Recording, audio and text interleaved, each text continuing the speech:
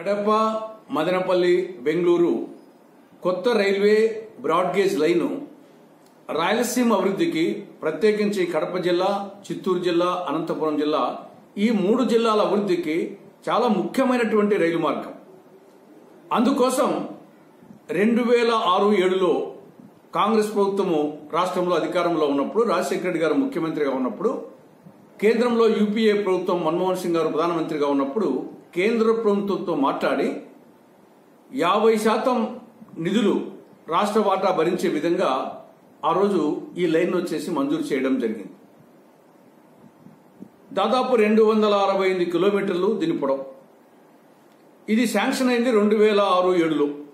కానీ ఇప్పటి వరకు కేవలం ఇరవై ఒక్క కిలోమీటర్లు మాత్రమే పూర్తయి దీన్ని అంచనా విలువ మూడు వేల ముప్పై ఎనిమిది కోట్లు.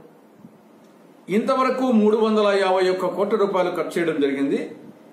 అందులో రాష్ట్ర ప్రభుత్వం తరపున నూట ముప్పై రెండు పాయింట్ మూడు తొమ్మిది కోట్ల రూపాయలు ఇవ్వడం జరిగింది. కానీ జగన్మోహన్ రెడ్డి గారు ముఖ్యమంత్రి అయిన తర్వాత ఈ రెండు సంవత్సరాల్లో రాష్ట్ర ప్రభుత్వ వాటాగా ఒక్క పైసా కూడా రిలీజ్ చేయలేదు. పర్యవసానంగా మొత్తం పనులు నిలిచిపోయినాయి.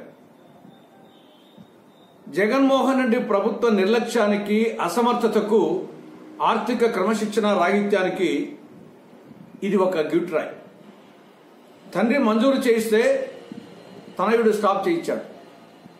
కాంగ్రెస్ మంజూరు చేయిస్తే నకిలీ కాంగ్రెస్ దాన్ని మర్చిపోయింది.